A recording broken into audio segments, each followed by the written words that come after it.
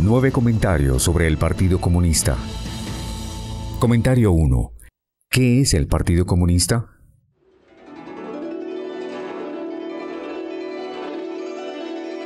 Por más de 5.000 años, el pueblo chino creó una espléndida civilización sobre la tierra regada por los ríos Amarillo y Yangtze. Durante este tan largo periodo nacieron y acabaron dinastías, y la cultura china padeció y se expandió. Grandiosos y emocionantes episodios se desarrollaron en el escenario de la historia china. Hace 150 años atrás, un espectro, el espectro comunista, apareció en Europa. A comienzos del siglo XX, bajo el nombre del Partido Comunista, encontró un lugar donde alojarse en China, mientras el poder de la dinastía estaba deteriorándose. Desde entonces, China ha enfrentado desafíos sin precedentes. Todo lo que el PSC ha tocado ha sido marcado con mentiras, guerras, hambrunas, tiranía, masacre y terror. Las creencias y valores tradicionales fueron destruidos violentamente. Los conceptos éticos y las estructuras sociales originales fueron desintegrados por la fuerza. La empatía, el amor y la armonía se sustituyeron por la lucha y el odio. La veneración y la gratitud al cielo y la tierra fueron reemplazados por un deseo arrogante de luchar contra el cielo y la tierra. Esto produjo un desmoronamiento total del sistema social, moral y ecológico, y una crisis muy profunda para el pueblo chino y para toda la humanidad. En los años 90, la ex Unión Soviética y los regímenes comunistas de Europa del Este cayeron uno tras otro, y la imagen floreciente del movimiento comunista se disipó. Apenas capaz de sostener su débil existencia, el Partido Comunista se ha vuelto impotente. Bajo su apariencia aparentemente poderosa y próspera, hay una imagen miserable y desgarrada de su desmoronamiento final. Con su inminente colapso, China podrá pronto evolucionar hacia una sociedad sin el PSG.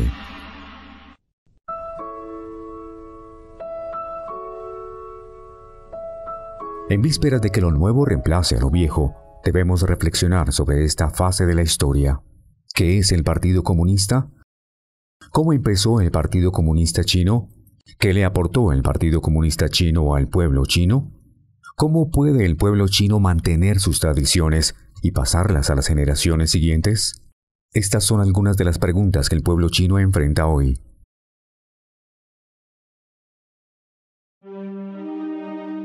Una carreta volcada adelante es una advertencia para las que vienen detrás. Al reflexionar sobre la verdadera historia del PSC, podemos ayudar a prevenir que este tipo de tragedias vuelvan a ocurrir. Y durante este proceso, cada uno de nosotros puede también reexaminar su mundo interior.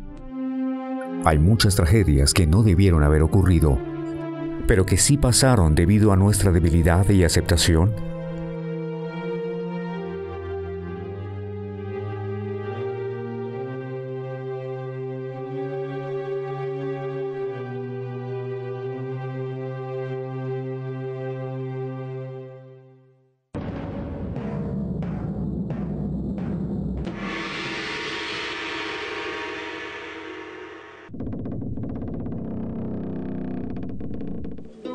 En 1840, el inicio de la era contemporánea china marcó el inicio del cambio de la era tradicional a la modernidad.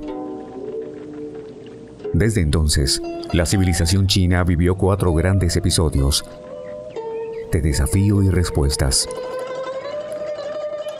La invasión a Beijing por la fuerza aliada anglo-francesa, durante los primeros años de la década de 1860 y la deserción del emperador Xianfeng de la dinastía Qing produjo un impacto sin precedentes para el pueblo chino y forzó a China a responder con el movimiento de occidentalización. En 1894 estalló la guerra sino-japonesa y China fue derrotada.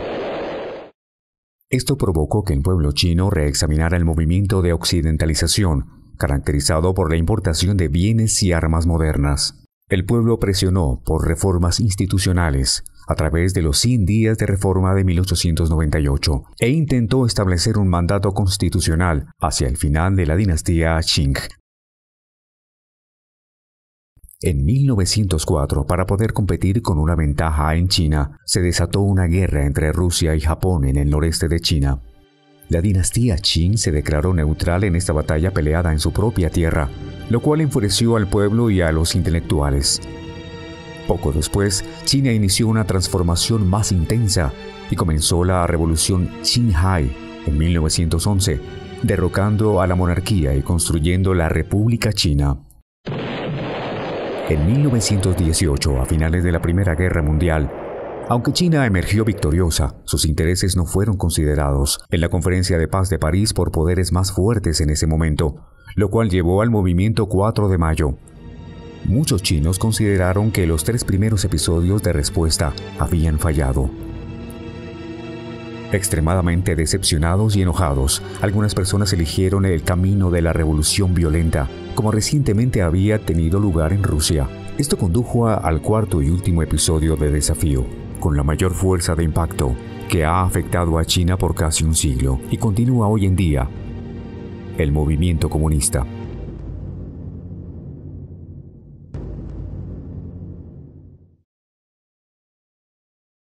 Los comunistas no se molestan en ocultar sus opiniones y sus metas. Abiertamente declaran que sus fines solo pueden obtenerse mediante el derrocamiento violento de todos los sistemas sociales existentes. Esta cita ha sido tomada del párrafo final de El Manifiesto Comunista, el documento principal del Partido Comunista. La violencia es uno de los principales medios por el cual el Partido Comunista obtuvo el poder. Este es el rasgo que ha heredado todas las vertientes del Partido Comunista, que han surgido desde su nacimiento.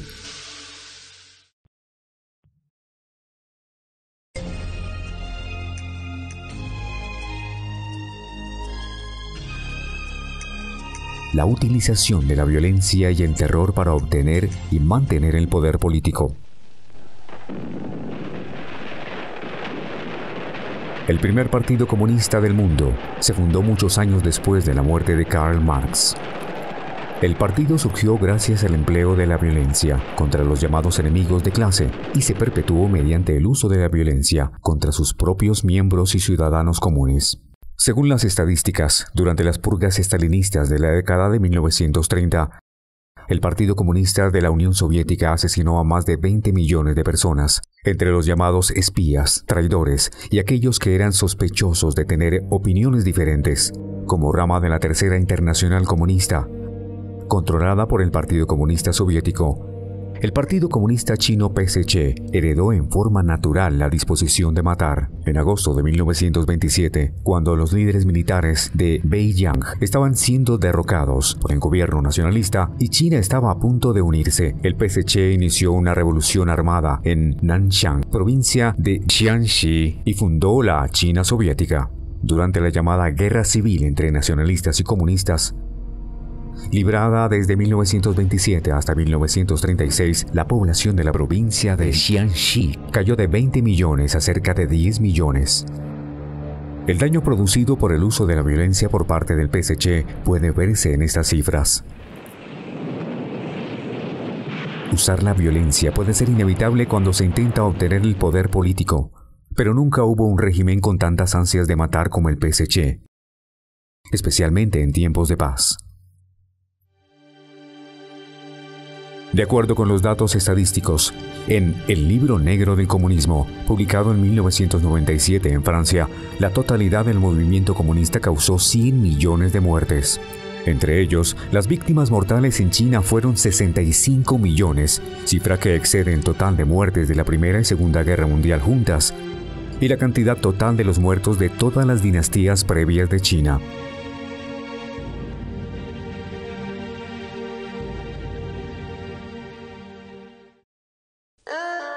Un ejemplo elocuente de cómo el Partido Comunista usa la violencia con el pueblo es el apoyo que le brindó a los Yemers rojos de Camboya.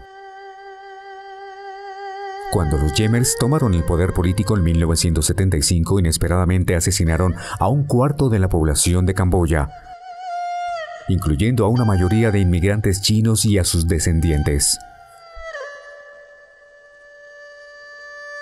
China todavía impide que la comunidad internacional enjuicie públicamente al Yemer Rojo, con el propósito de encubrir la evidente participación del PSC en el genocidio de Camboya.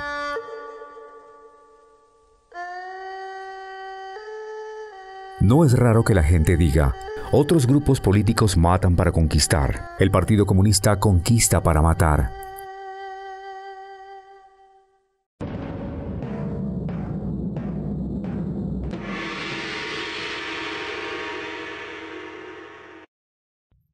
Una de las teorías que usa el comunismo es el darwinismo social. En 1859, basándose en sus observaciones, Charles Darwin propuso su teoría intentando explicar el origen del hombre. Debido a la falta de evidencia, esta teoría fue incesantemente cuestionada y debatida en los círculos científicos. El Partido Comunista, sin embargo, la trata como una ley científica y la considera como absoluta. Aplican la competencia de las especies a la sociedad humana, sosteniendo que la lucha de clases es la única fuerza que conduce al desarrollo social. La lucha, por lo tanto, se convierte en la creencia fundamental del Partido Comunista, una herramienta para poder obtener el poder político y un medio para sobrevivir. Las famosas palabras de Mao revelan claramente esta lógica de la supervivencia del más apto. Con 800 millones de personas, ¿cómo se puede funcionar sin luchar?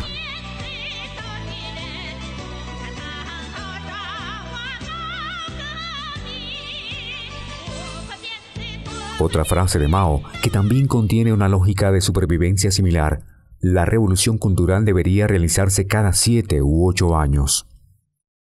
El uso reiterado de la fuerza es un método importante del PSC para mantener el control en China. El objetivo de usar la fuerza es producir terror.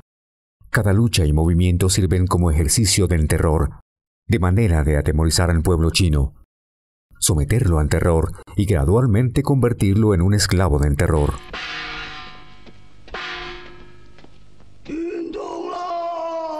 Esta insensata frase gritada por Wang Chuse, personaje de una película sobre el trágico periodo de la revolución cultural, ha sido como un fantasma resonando en la mente de la gente china.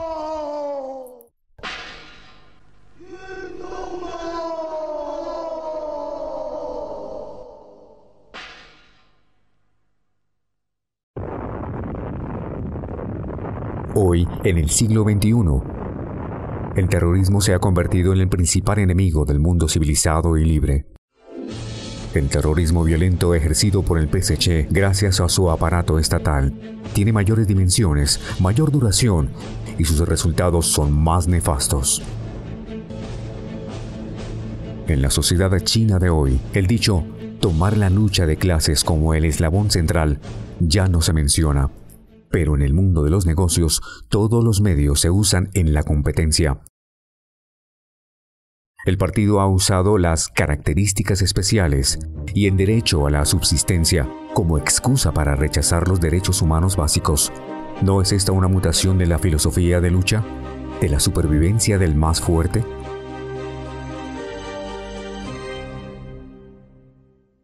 El nivel de civilización puede medirse por el grado en que se usa la violencia dentro de un régimen. Al recurrir al empleo de la violencia, los regímenes comunistas representan un importante retroceso para la civilización humana. Desafortunadamente, el Partido Comunista se le ve como progresista por aquellos que piensan que la violencia es un elemento esencial e inevitable en el avance de la sociedad.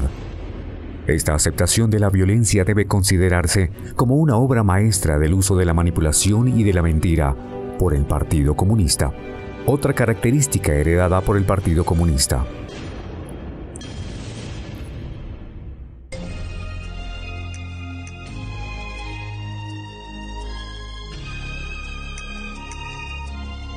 La mentira para justificar la violencia. El 4 de julio de 1947, el diario oficial del PSC, Xinhua Daily, publicó esta editorial. Desde nuestros comienzos, pensamos que los Estados Unidos es un país especialmente amable. Creemos que esto se debe no solo al hecho de que esta nación nunca ocupó China por la fuerza, ni la atacó jamás. Principalmente los chinos tienen una buena impresión de los Estados Unidos, debido a la tradición democrática y el carácter generoso y abierto de su pueblo. En ese entonces, el PSC estaba sitiado en Yenan, intentando ganar una impresión favorable de los Estados Unidos para recibir ayuda militar. Solo tres años después, el PSC envió soldados a pelear contra las tropas norteamericanas en Corea del Norte y describían a los norteamericanos como los imperialistas más malvados del mundo. En estos días, este editorial del PSC y otras publicaciones similares aún están prohibidas en China continental. La razón es que el PSC no quiere que sus engaños y mentiras sean expuestos. En 1957, el PSC pidió a los intelectuales que expresaran sus opiniones para ayudar a enmendar al Partido Comunista. El 8 de junio, el Diario del Pueblo publicó una editorial titulada ¿Por qué es esto? Tomando esto como un punto de inflexión, el movimiento de rectificación repentinamente se transformó en la campaña antiderechistas, cuando algunos señalaron que la persecución era una conspiración o que la maniobra había sido un complot oculto. Mao dijo públicamente, esto no es un complot oculto, sino una estrategia abierta. Esta es parte del discurso de Jian Qing, primer vicedirector del Comité Principal Central de la Gran Revolución Cultural grabado en el periodo inicial de la Gran Revolución Cultural. Poco después, el presidente de China, Liu Shaoxi, fue tomado como un rebelde, un traidor y una costra. Así lo llamaron, y fue expulsado del partido para siempre. Llamativamente, 10 años después, Liu Xiaoxi fue anunciado en su rehabilitación como el gran proletario revolucionario, el gran soldado comunista y el gran marxista-leninista. Los detalles de su persecución aún se encuentran en un área de investigación prohibida. Desde que llegó al poder, el PSC siempre ha usado métodos similares en cada uno de sus movimientos desde el de los tres anti y el de los cinco anti hasta la revolución cultural y desde la masacre de la plaza Tiananmen hasta la persecución de Falun Gong. El engaño y la mentira van de la mano con la violencia.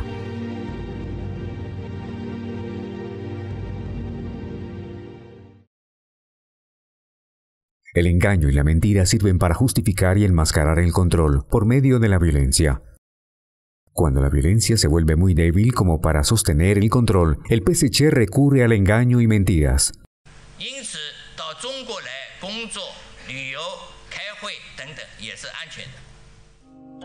Los intelectuales chinos siempre tuvieron gran fe en la historia desde los tiempos inmemoriales. China tiene la historia más larga y completa del mundo, y su pueblo la ha utilizado para evaluar la realidad de su época e incluso para alcanzar la elevación espiritual personal. Para que la historia sirviera al régimen, el PSC alteró y ocultó la verdad histórica.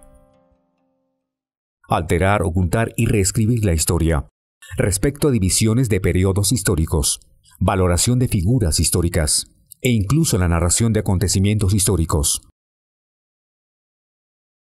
Tales alteraciones históricas han continuado por más de 50 años, desde 1949, y todos los esfuerzos por restaurar la verdad histórica han sido bloqueados y eliminados despiadadamente por el PSC. Cada chino que va al exterior queda choqueado cuando ve cómo la sociedad internacional explica los eventos históricos de la expedición del norte, la guerra sino-japonesa, la guerra de Corea y otros.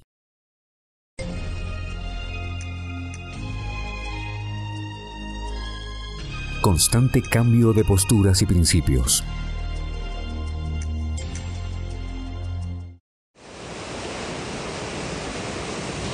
Un proverbio occidental dice que las verdades nunca cambian y que las mentiras son mutables. Este pensamiento expresa un principio fundamental.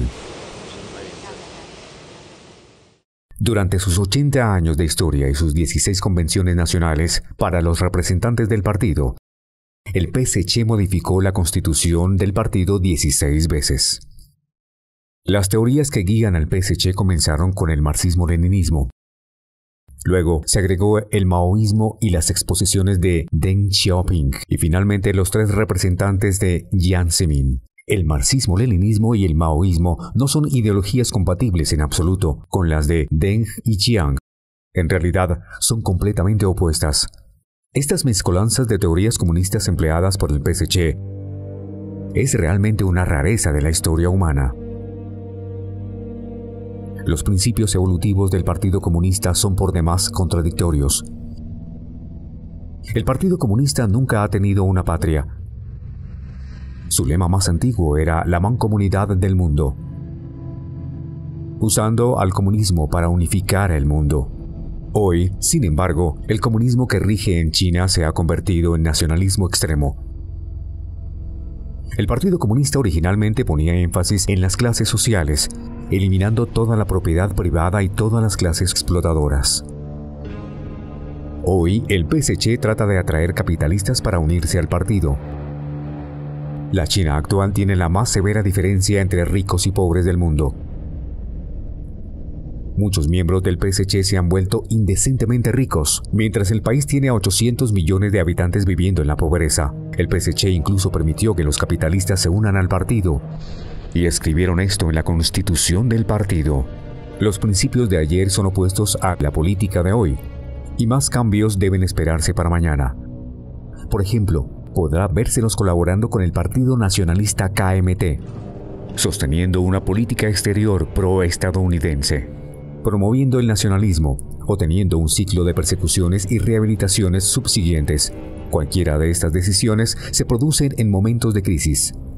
En la historia del PSC ha habido más de una docena de movimientos que eran luchas de vida o muerte. En realidad, todas estas luchas han coincidido con los traspasos de poder. Tras los cambios en los principios rectores del partido. Cada cambio ha venido de una inevitable crisis que enfrenta el PSC que amenaza su legitimidad y supervivencia. Cada objetivo es para capturar y mantener el poder, así como disfrutar del monopolio sobre los derechos sociales. El PSC prometió tierras a los campesinos, fábricas a los trabajadores, libertad y democracia a los intelectuales y paz para todos. No cumplió ninguna de estas promesas.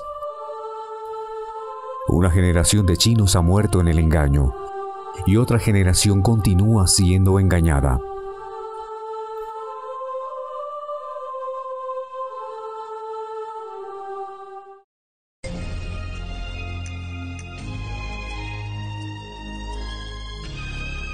La naturaleza del partido reemplaza y destruye la naturaleza humana. En las sociedades que no tienen un régimen comunista, incluso aquellas regidas por un poder totalitario o una dictadura, suelen conceder a sus ciudadanos un grado de autoorganización y autodeterminación. La sociedad antigua china era gobernada bajo una estructura binaria.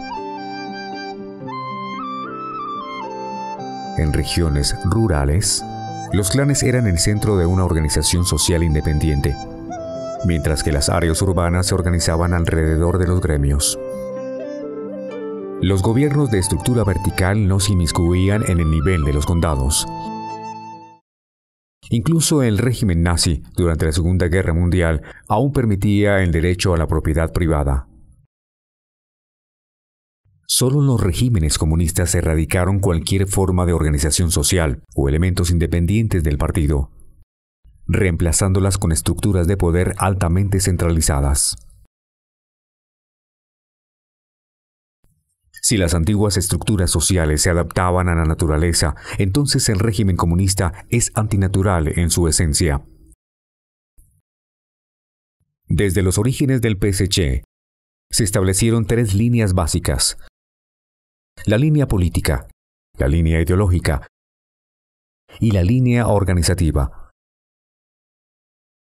Todo el contenido de la línea organizativa es que todos los miembros del PSC y aquellos regidos por el PSC están para obedecer órdenes del partido incondicionalmente. En China, la mayoría sabe sobre la doble personalidad de los miembros del PSC. En el ámbito privado, los miembros del PSC son seres humanos comunes, con sentimientos de alegría, enojo, pena y dicha. Poseen los méritos y los defectos de la gente común. Pueden ser padres, esposos, esposas o amigos. Pero por encima de la naturaleza humana y de los sentimientos, está la naturaleza del partido, que siempre trasciende lo humano. De esta manera, las nociones del bien y el mal, así como las leyes y principios, son manipulados arbitrariamente. El asesinato no está permitido, excepto para aquellos que son catalogados como enemigos del Partido Comunista. Respetar a los mayores está bien, excepto los casos de los padres de quienes son considerados enemigos de clase. Todos los chinos están protegidos por la Constitución, excepto los practicantes de Falun Gong. La benevolencia, justicia, decoro, sabiduría y sinceridad son todos buenos, pero no aplica cuando el partido no le conviene o no quiere considerar estos valores tradicionales. El Partido Comunista desprecia completamente los estándares universales de naturaleza humana y estándares sociales, y se construye sobre principios que se oponen a la naturaleza humana y estándares sociales. Destruye completamente la superestructura de la vieja sociedad. Durante la Revolución Cultural, era habitual que padres e hijos se torturaran mutuamente. Esposos y esposas lucharan entre sí. Madres e hijas se delataran unas a otras y estudiantes y maestros se trataran como enemigos. La naturaleza del partido fomentaba el conflicto y el odio en estos casos. El argumento de la ópera de Pekín, Adiós a mi concubina, da una vívida descripción de cómo el Partido Comunista Chino pervierte la naturaleza humana.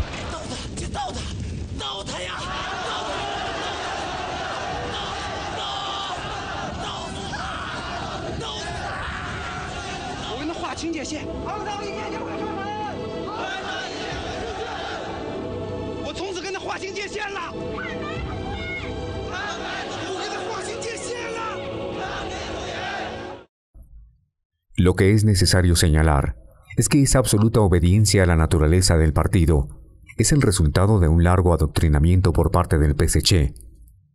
Este entrenamiento empieza en el nivel preescolar y jardín de infantes, donde las respuestas dictadas por el partido son recompensadas, respuestas que no concuerdan con el sentido común, ni con la naturaleza infantil son premiadas. Los estudiantes reciben una educación política cuando asisten a la escuela primaria, secundaria y todo el camino a la universidad. Y ellos aprenden a seguir las respuestas que impone el partido. De lo contrario, no pasarán los exámenes ni podrán graduarse. Hoy, el PSC ha degenerado por completo en una entidad política que lucha para mantener sus intereses. Dejó de tener como meta la ideología comunista. Sin embargo, la estructura organizativa del comunismo permanece y su requisito de obediencia absoluta no ha cambiado. Un miembro del partido tiene que ser coherente con la línea del partido cuando habla públicamente, sin importar lo que piense como persona. La estructura organizativa del PSC es una pirámide gigantesca, con el poder central encima, controlando toda la jerarquía. Este partido se sitúa a sí mismo por encima de la humanidad, y de la naturaleza humana, eliminando cualquier organización de personas que estimen perjudiciales o potencialmente perjudiciales a su propio poder, ya sean ciudadanos comunes u oficiales de alto rango del PSC.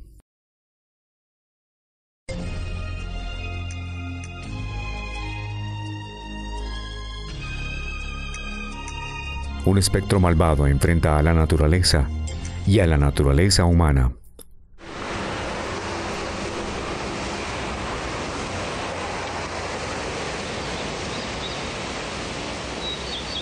Los chinos creen por tradición en la unidad del cielo y los seres humanos. Lao Tzu dijo, el hombre sigue a la tierra, la tierra sigue al cielo. El cielo sigue al Dao y el Dao sigue lo que es natural. Los seres humanos y la naturaleza existen en armoniosa relación en el continuo cosmos. El Partido Comunista no cree en Dios, ni siquiera respeta la naturaleza física. Un conocido dicho del PSC era, Batalle con el cielo, pelee con la tierra, combata a los seres humanos, vivirá en eterna dicha. En este contexto, la así llamada eliminación de la propiedad privada resultó ser un saqueo y despojo de las propiedades de todos, mientras que la así llamada propiedad pública se convierte en la propiedad oligopólica comunista. Las creencias religiosas son forzosamente reprimidas y absolutamente prohibidas, y mientras tanto, la humanidad y los derechos humanos son suprimidos y pisoteados. Las creencias religiosas fueron reemplazadas por creencias en las promesas comunistas de crear una sociedad armoniosa, regida por la adoración al Partido Comunista.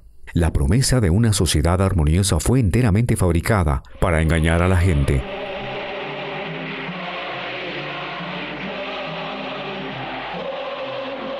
El comunismo se transforma de una teoría falaz a una práctica perversa.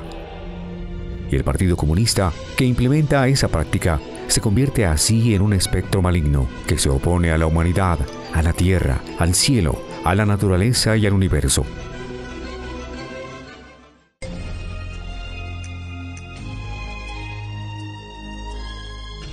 Sexto, características de la posesión perversa. En China, jamás nadie vio los presupuestos fiscales de las organizaciones del PSC. Solo existen presupuestos fiscales para el Estado, gobiernos locales y para las empresas. Pero en el aprendizaje diario de la gente, en el trabajo, la vida familiar, actividades sociales y en casi todos los medios de información, el PSC en realidad se extiende a todas partes y controla todo. Desde el gobierno central hasta los comités de aldeanos en las áreas rurales, los oficiales municipales siempre están calificados por debajo de los cuadros comunistas. Así que los gobiernos municipales tienen que obedecer las instrucciones de los comités del Partido Comunista que tienen a su mismo nivel. Los gastos del partido son solventados por las unidades administrativas sin embargo, no aparecen discriminados separadamente. La organización del PSC, como un gigantesco espíritu maligno, se adhiere a cada una de las unidades y células de la sociedad china, tan estrechamente como una sombra sigue a un objeto. Penetra profundamente en cada capilar y célula de la sociedad, con sus finos tubos que chupan la sangre. De ese modo, controlar y manipular a la sociedad.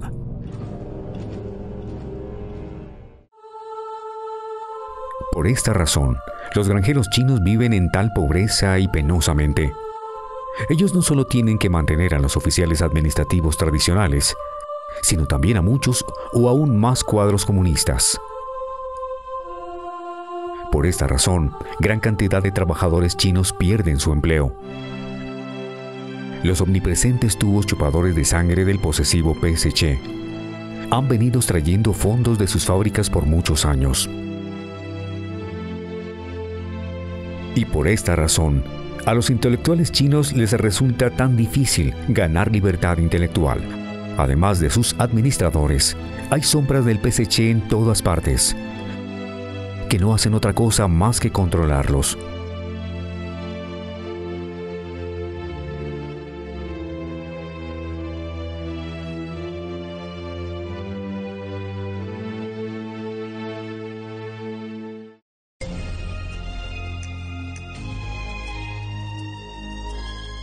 Séptimo, reflexione y deshágase de la posesión del PSC.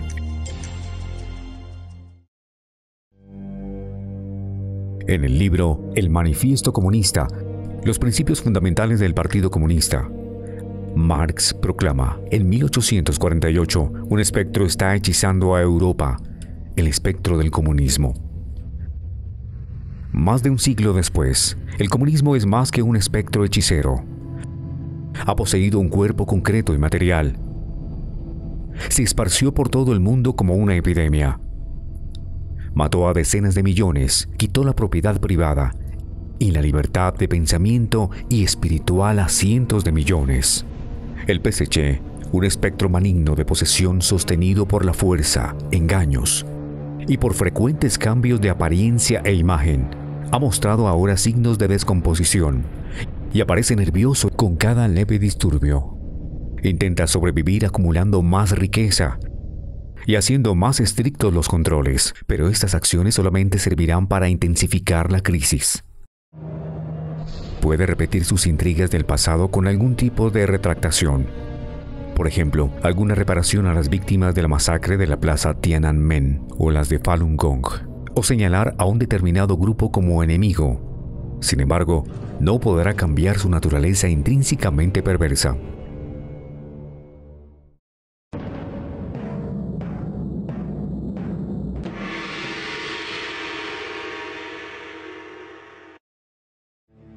Enfrentando grandes crisis en estos últimos 100 años, la nación china respondió con la importación de armas, reformas institucionales y revoluciones radicales y violentas. Se perdieron incontables vidas y la mayor parte de su tradición cultural ha sido abandonada.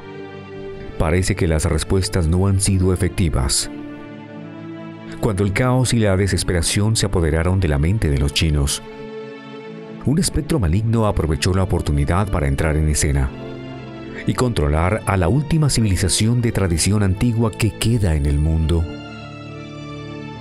Cuando sobrevengan nuevas crisis, el pueblo chino deberá volver a elegir.